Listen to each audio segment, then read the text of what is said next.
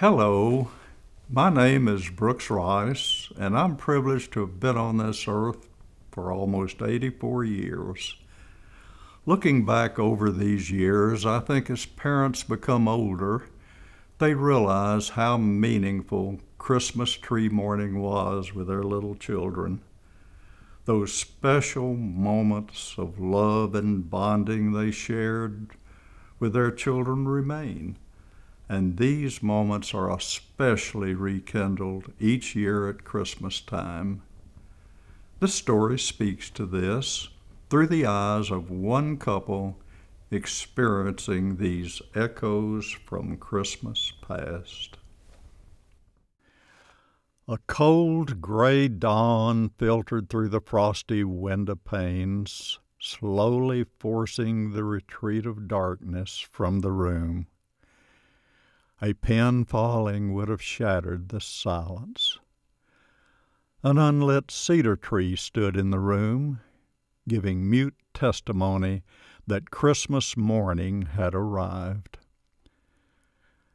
Standing silently in the room, as they had done for many years, the gray haired couple gently squeezed each other's hand, and with a knowing smile closed their eyes and waited.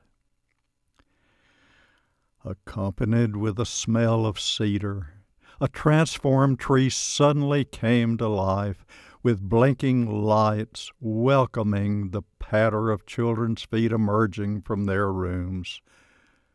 Steps paused with gasp of delight at Santa's empty milk glass and cookie platter placed there the night before. And now the sounds of children's laughter and shrieks of joy at the sight of the many ribbon bound treasures under the tree. Then a hurried search looking for names to identify the fulfillment of their wished for dreams. The rustle and tearing of paper wrapped so carefully by loving hands, followed by shouts of delight as new toys are set into motion and dolls hugged and christened with names to welcome into the family.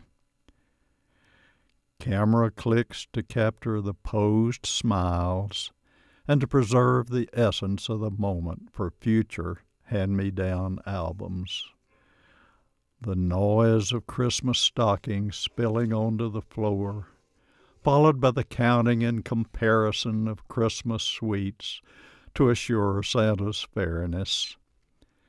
The smell of a hastily prepared breakfast, hurrying to compete with forbidden snacks of the stocking candy. Then once again, the magic of memories was over Unimportant was the now unblinking tree in the empty quietness of the room. Their eyes opened, and with spontaneous smiles the couple embraced. The memories of yesteryear's children and of their own youth ended with a silent prayer of gratitude from each. For once again, echoes from Christmas past have made this a beautiful Christmas day. And my wife Marilyn and I wish all of you a very Merry Christmas.